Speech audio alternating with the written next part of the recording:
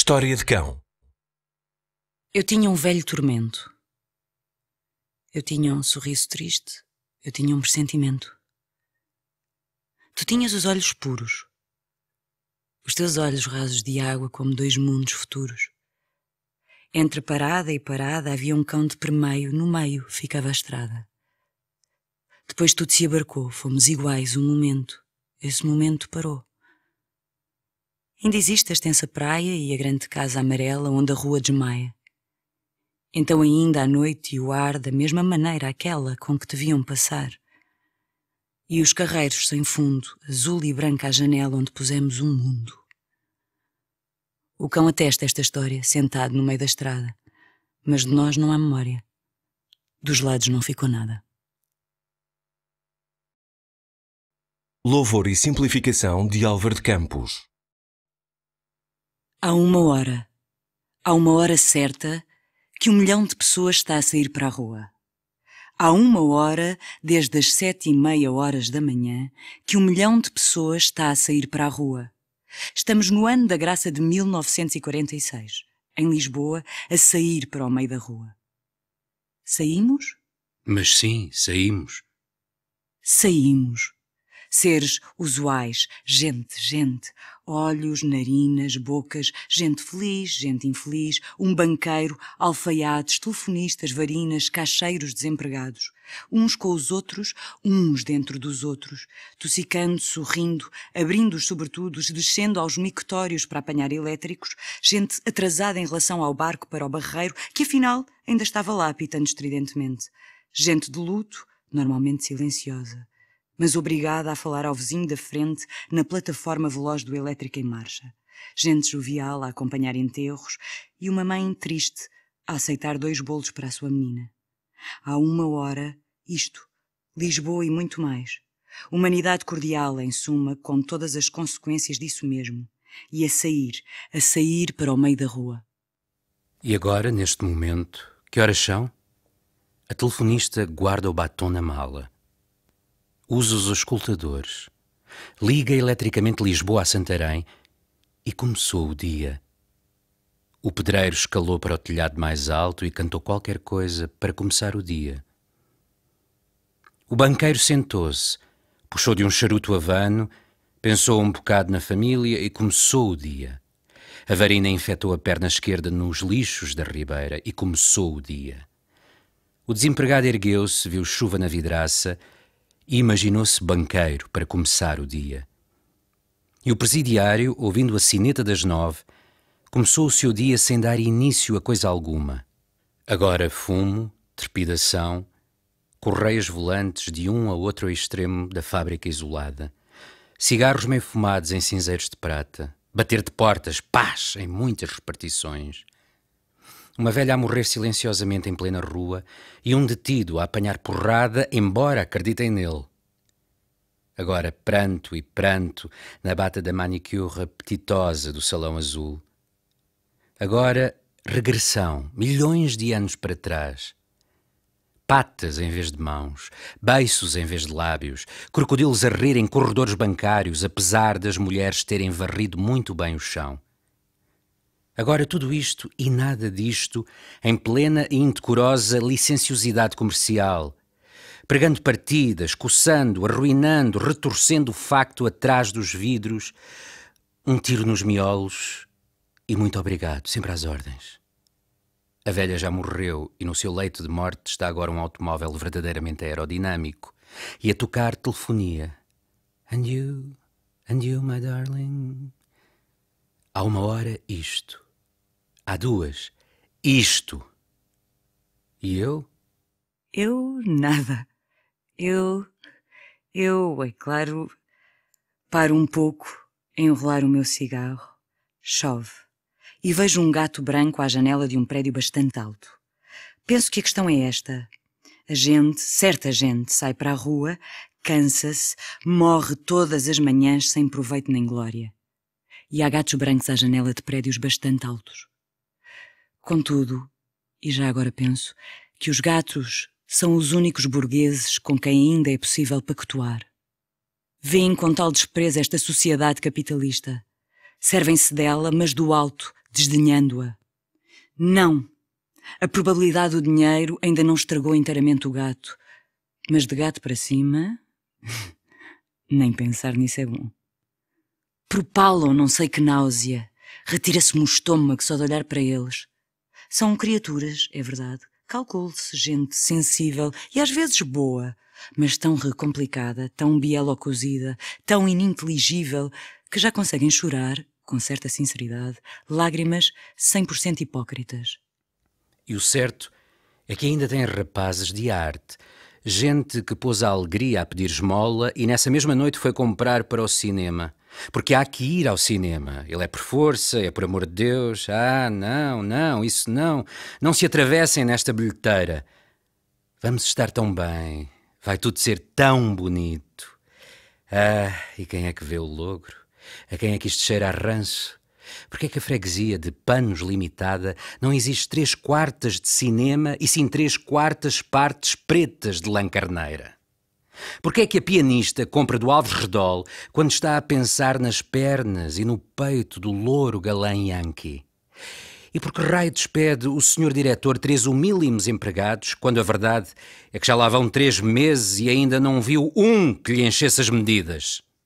Com certa espécie de solidariedade, lembro-me de ti, Mário de Sacarneiro. Poeta gato branco à janela de muitos prédios altos. Lembro-me de ti, ora pois, para saudar-te, para dizer bravo e bravo, isso mesmo, tal e qual. Fizeste bem, viva Mário! Antes a morte que isto. Viva Mário a lançar um golpe de asa e a estatelar-se todo cá embaixo. Viva principalmente o que não chegaste a saber, mas isso é já outra história. E com uma solidariedade muito mais viva, lembro-me de ti, meu vizinho de baixo, sapateiro gato branco, mas no resto do chão desta vez. É curioso que não te possas suicidar só porque a tua janela está ao nível do mundo e que cantes alegremente de manhã à noite com uma casa de seis andares em cima de ti. Também tu foste empurrado, também te disseram fora gato. Mas achaste isso quase natural e não o é, de veras? E agora, guardando em ti todas as tuas grandes qualidades, vais vivendo um pouco à margem, um pouco no quinto andar. Deito fora o cigarro que já me sabia amargo e decido-me a andar, mas para quê? Mas para onde? As lojas estão todas abertas, mas nunca se viu coisa tão fechada. Ah, heróis do trabalho, que coisas raras fazeis. Não sou um proletário, vê-se logo, mas odeio cordialmente a gataria. E quanto a crocodilos, nem os do jardim zoológico me atraem, quanto mais estes. E aqui é que começa o imbróglio. O pouco amor que eu tive à burguesia, deixei-o todo numa casa de passe quando me perguntaram: quer assim ou assim? E agora era fatal. Falta ao escritório. Falta ao escritório pontualmente todas as manhãs. Mas vejamos, ó minha alma, se podes, arrumemos um pouco a casa escura que te deram. Recomecemos. 1. Um, estes versos não querem de modo algum ser versos, porque quem hoje em Portugal quer de algum modo fazer versos versos está em muito maus lençóis. Este é o primeiro artigo da minha Constituição. Segundo, apesar de tudo, saí para a rua com bastante naturalidade e que vi eu que é isto? E que esperava eu ver? Terceiro. E aqui começa talvez o desembróglio. Vi também o vapor que ia para o barreiro e tive pena de não ir com ele. Mas não sou um proletário. Não, ainda não. E atravessar a nado, quem é que disse que pode? Fiquei-me a vê-lo, primeiro junto ao cais, com um certo ar simpático de proletário dos mares e apinhado de gente, tanta espécie dela. Depois, a meio do rio, destacado e nítido. Depois, um ponto vago no horizonte. Oh, minha angústia! Ponto cada vez mais vago no horizonte. E de repente, ao virar uma esquina, já depois de outra esquina, vejo uma espécie nova de enforcado, um homem novo em cima de um escadote, a colar, a fixar cartazes deste género: Vota por Salazar. Paro. Paro de novo. Pararei sempre enquanto a fixar em cartazes deste género. Um chefe não é grande pelo nome que arranjou.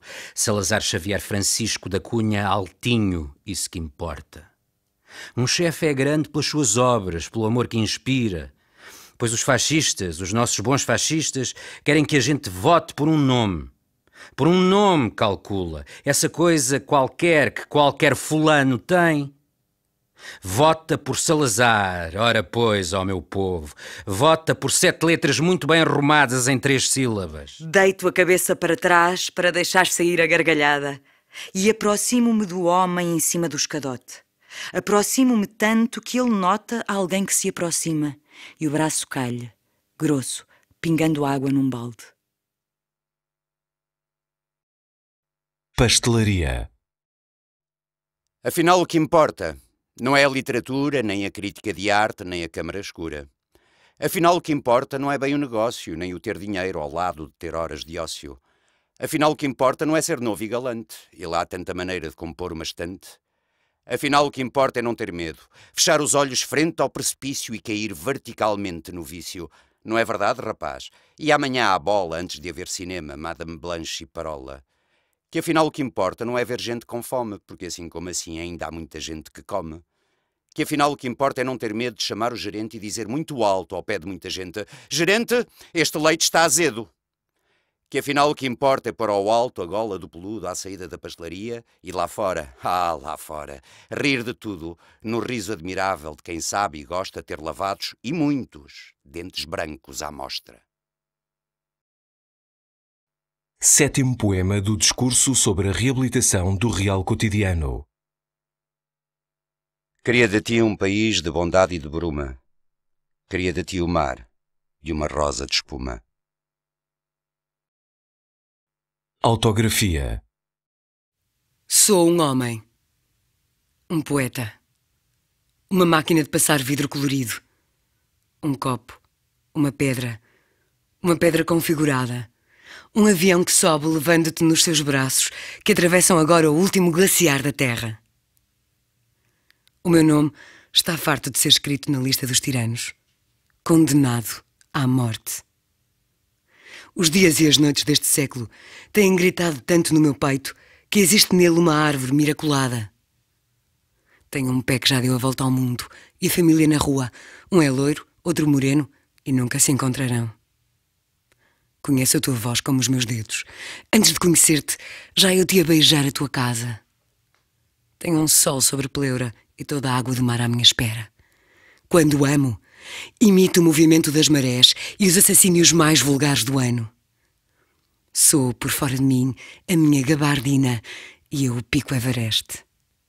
Posso ser visto à noite na companhia de gente altamente suspeita e nunca de dia a teus pés, florindo a tua boca, porque tu és o dia, porque tu és a terra onde eu há milhares de anos vivo a parábola do rei morto, do vento e da primavera. Quanto ao de toda a gente, tenho visto qualquer coisa Viagens a Paris? Já se arranjaram algumas? Enlaces e divórcios de ocasião? Não foram poucos. Conversas com meteoros internacionais? Também já por cá passaram. Eu sou, no sentido mais enérgico da palavra, uma carruagem de propulsão por hálito. Os amigos que tive, as mulheres que assombrei, as ruas por onde passei uma só vez, tudo isso vive em mim para uma só história de sentido ainda oculto, magnífica, irreal como uma povoação abandonada aos lobos, lapidar e seca, como uma linha férrea ultrajada pelo tempo. É por isso que eu trago um certo peso extinto nas costas a servir de combustível.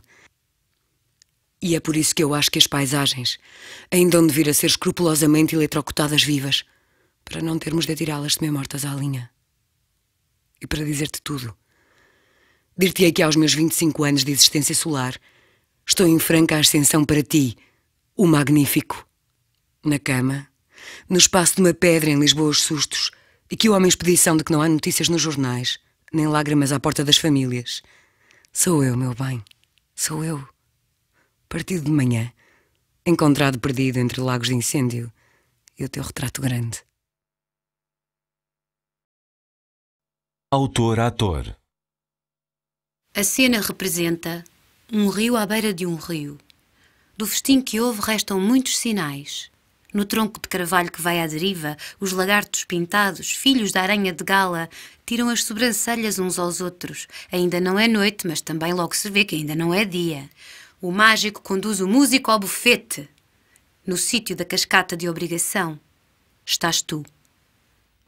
A cena representa os portadores de imagens. O primeiro edifício é um cinema pobre, que dá para a grande praça do obelisco. Aqui é tudo mistério contam a tropa do califa Assaíne à ordem de Rodolfo Valentino.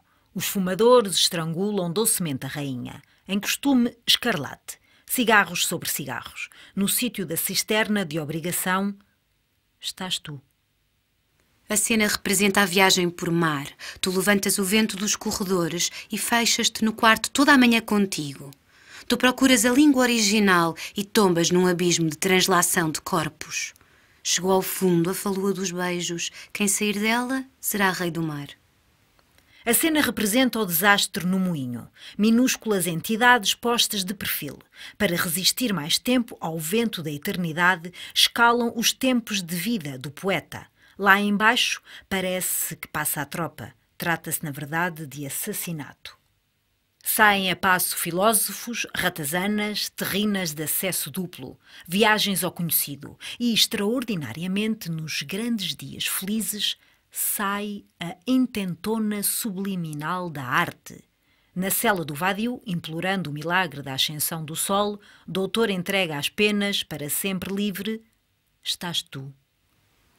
A cena representa a oração da noite que todos os dias começa no lado setentrional do quadrado da Praça Dita Dom Pedro IV e todos os dias acaba no lado norte do Jardim de Santos. À tua sombra avançam todos os meus gritos de único moezinho, mil léguas em teu redor. E ao pé de ti não há memória válida. Ao pé de ti é hora de partir sempre. Não sem motivo choram na cadeia os velhos cristos de olhos purulentos.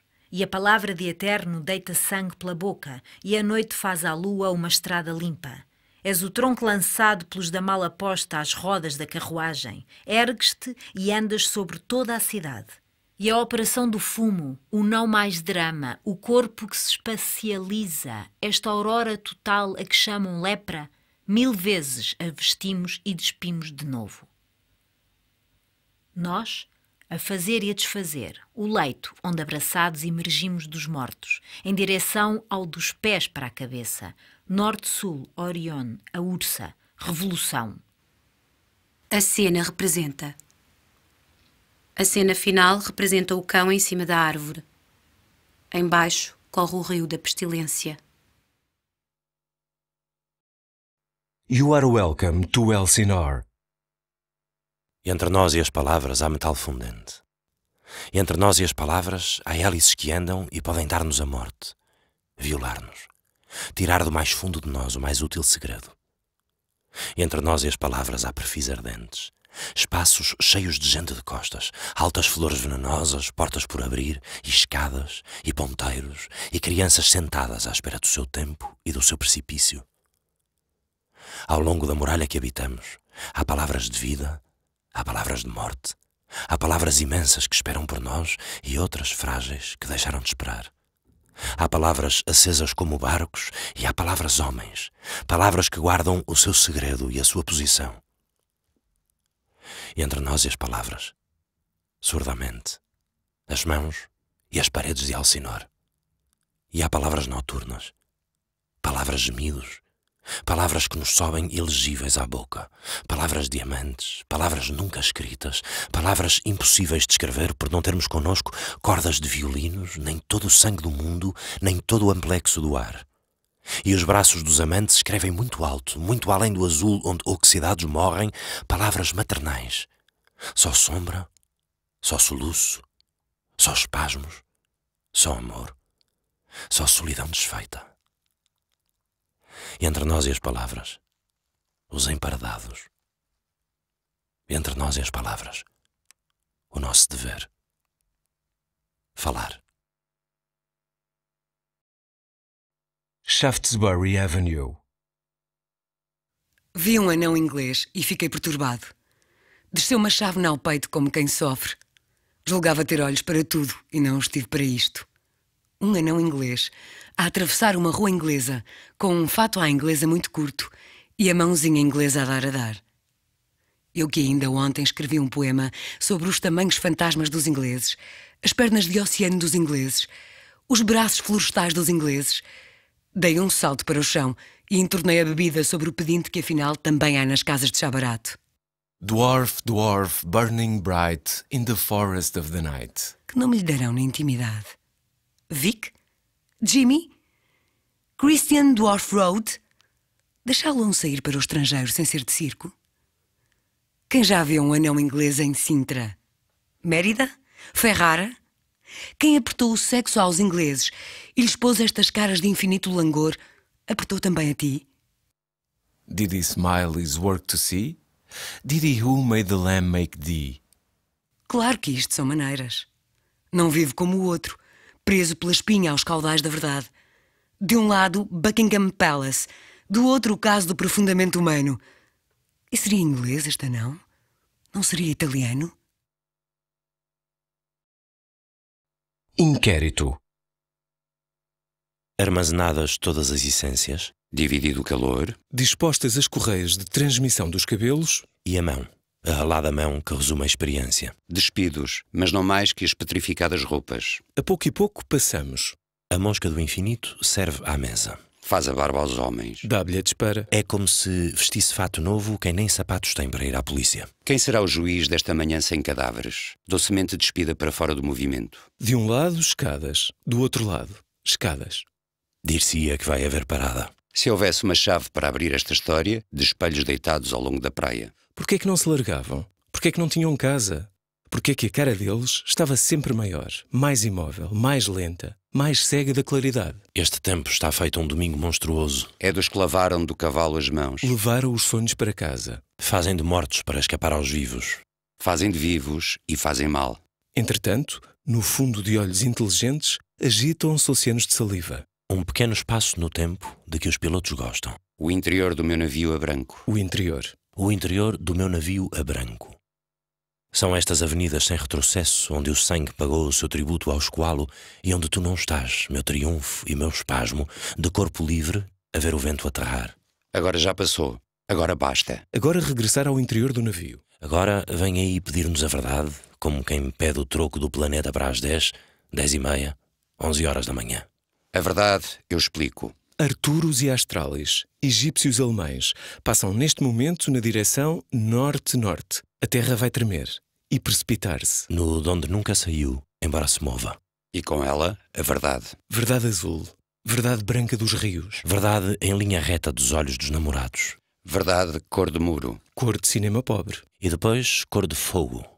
Verdade escura cor de homem. E sabem para que são estas verdades todas e todos estes livros de moradas? São para glorificar o corpo a corpo, o boca a boca, o calça a calça e as mãos nas mãos, perceberam? Não perceberam? São milhares de cabeças separadas do tronco, mantidas por um filamento fixo à nuca. Até aqui, nada de extraordinário. Nada a ver com o grito do sol no horizonte quando uma ave subitamente sangra e os sonhos voltam à sua casa no espaço. De um colchão carbonizado, pouco fica. Erguia-se, limpava o braço azul, deixava ficar tudo como estava. Mas dele até ao pó e às sombras dos sapatos, quantas revoluções perpetuadas. Ali onde a parede não faz chão. E diz então que a catedral era em baixo.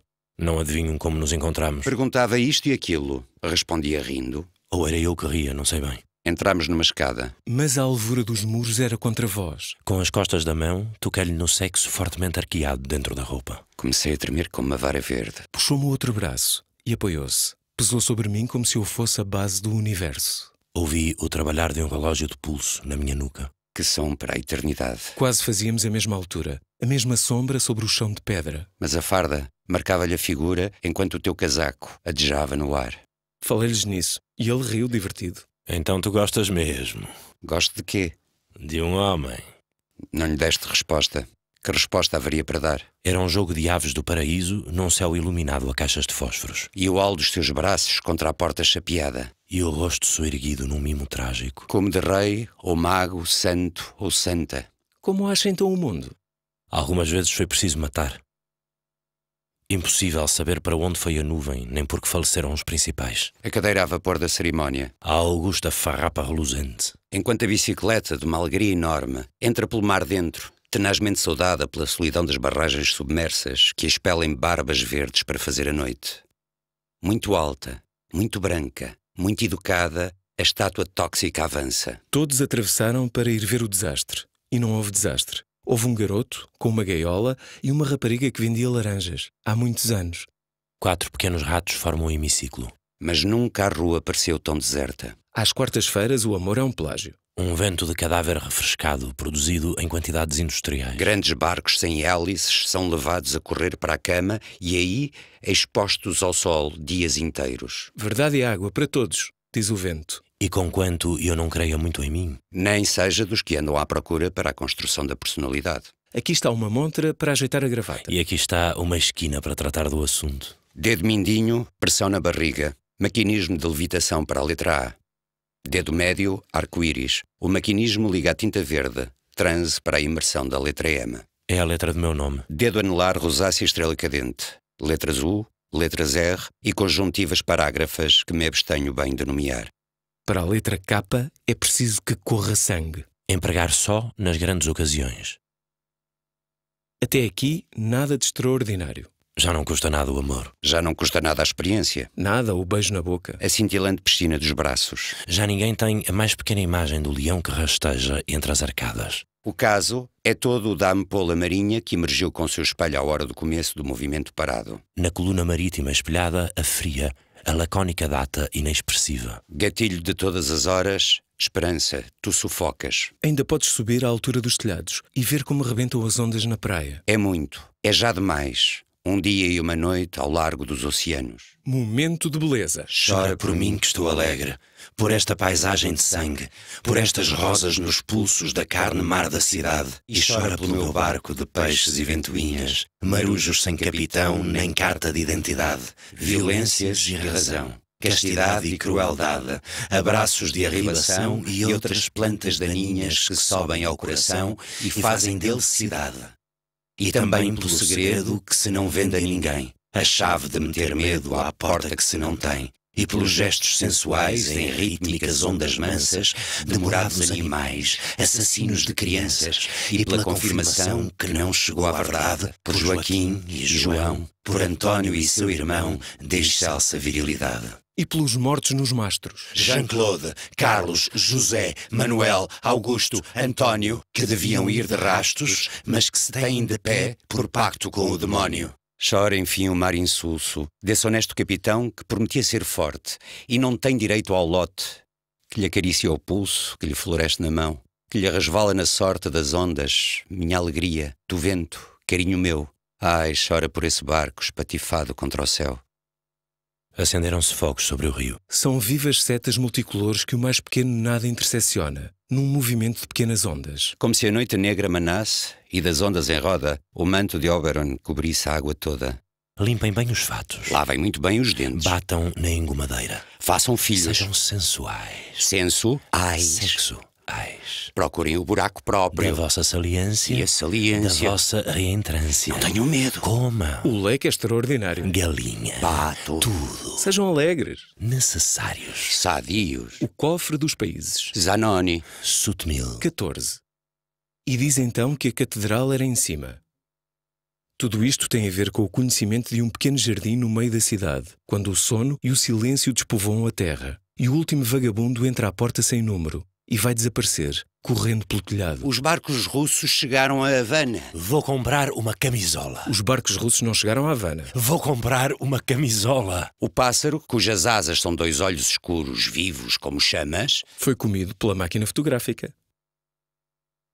Dois de sete se pediu o meu amor. mas caiu-lhe o boné. Tudo quanto ali estava foi ajudar a achar, a trazer, a limpar. Viste-o assim pela última vez. No meio de uma roda de transeuntes, baixando-se a aceitar o boné que dançava. Erguendo-se e fitando-me nos olhos. Fixo. O navio de espelhos. O navio de espelhos não navega, cavalga. Seu mar é a floresta que lhe serve de nível. Ao crepúsculo espelha sol e lua nos flancos, por isso o tempo gosta de deitar-se com ele. Os armadores não amam a sua rota clara. Vista do movimento, dir-se-ia que para. Quando chega à cidade, nenhum cais o abriga. O seu porão traz nada, nada leva à partida. Vozes e ar pesado é tudo o que transporta, e no mastro espelhado, uma espécie de porta. Seus dez mil capitães têm o mesmo rosto, a mesma cinta escura, o mesmo grau e posto. Quando um se revolta, há dez mil insurretos. Como os olhos da mosca refletem os objetos. E quando um deles ala o corpo sobre os mastros e escruta o mar do fundo, toda a nave cavalga como no espaço os astros, do princípio do mundo até ao fim do mundo. Julião os Amadores Já nada temos a fazer sobre a terra. Esperemos de olhos fechados a passagem do vento, dizia eu.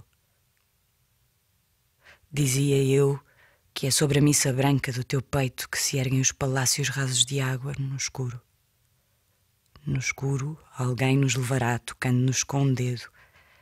Nós, trêmulos, deitados, sem dizer palavra, morremos de ter nos conhecido tanto. E depois? E depois? Depois o halo de uma fita azul, o martelo esquecido sobre a pedra de um sonho. Mas os salões, e a casa, e o cão que nos seguia. O teu rosto, meu rosto, este homem alto, o sol.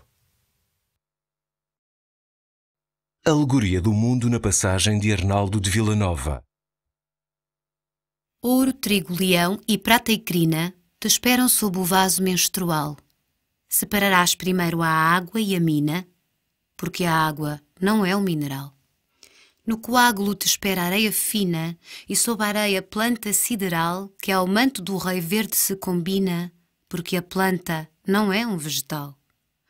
Ao homem cabe o ouro de buscá-lo, e a sua cria, morta ou imortal, tirá-la-ás do ventre de cavalo, porque o homem não é um animal.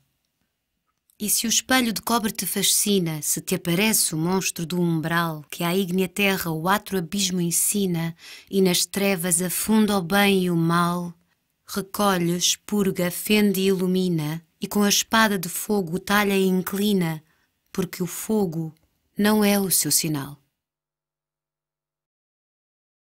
Atelier Comecei a formá-lo pelas pernas, mas isso agitava-o demais. Obrigava-o a ser mais forte do que era. Comecei outra vez, partindo da cabeça. Uma bela cabeça eriçada de pelo. Quando cheguei ao peito, deu um grito de irreprimível alegria e voltou a agitar-se agora perigosamente. As paredes da casa, tentando devolver a força de água azul, convergiam sobre ele. Parei para fumarmos um cigarro. É um corpo muito belo, com a ligação às mãos perfeitamente assegurada. Os olhos têm algo de mediterrâneo, mas o cabelo é compacto, como nas raças fortes. Prepara outro corpo mais extenso e mais ágil. A água verde ilumina toda a sala. Com um som agudo de campainha de prata, extingue-se lentamente o antigo anticorpo Compreendo a sua súplica, o seu feroz desespero. É tudo o que ainda resta das idades sombrias que nos viram nascer, da época em que a força dilacerava a força apenas pelo gosto de dilacerar. Apago a luz e estendo-me. Os dois corpos gerados dançam de roda, saem para o dia da terra, internam-se no bosque. Os seus traços azul e verde profundos são visíveis durante muito tempo na alvura dos terraços, na montanha, nas extensões ilimitadas do campo. E sempre que me volto para o lado da luz.